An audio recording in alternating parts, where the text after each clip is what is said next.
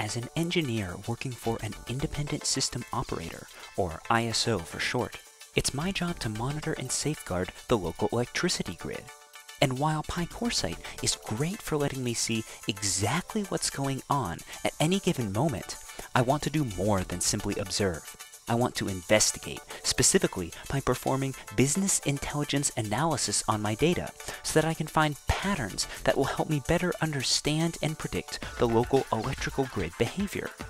For that investigation, I'll use Microsoft Power BI, a free business intelligence analysis client from Microsoft.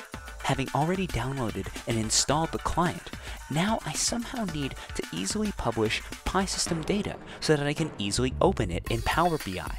And that's exactly what the PI Integrator for Business Analytics allows me to do.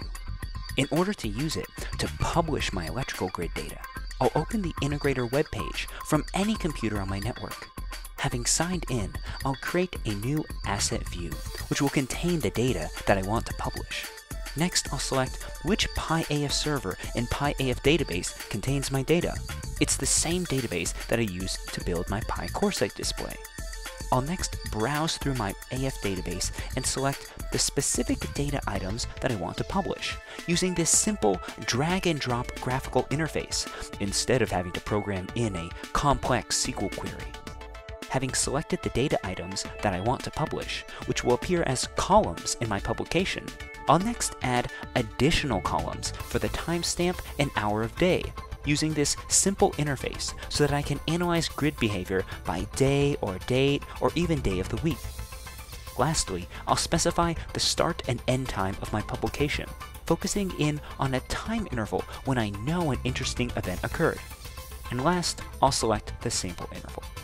And that was the last step actually.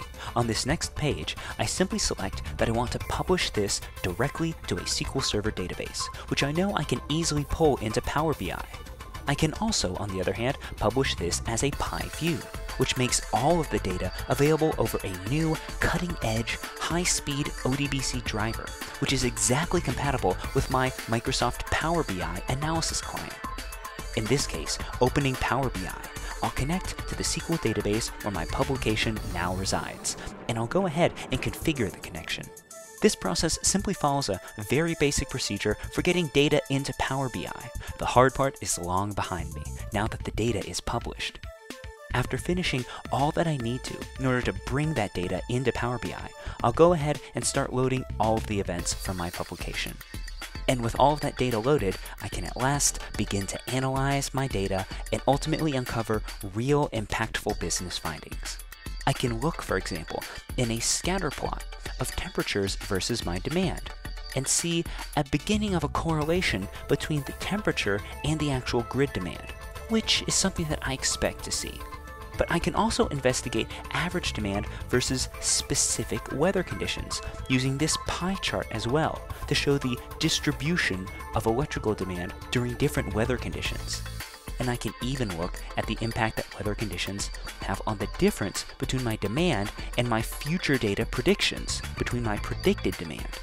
And it is all thanks to the PI Integrator for Business Analytics that I was able to end up here at this final step in hardly any time at all. Such is the power of the new PI Integrators from OSIsoft engineers, operators, managers, and entire organizations can now quickly and easily integrate their PI system data infrastructure with cutting edge business intelligence tools, allowing them to perform the key investigations needed to transform their business and operations.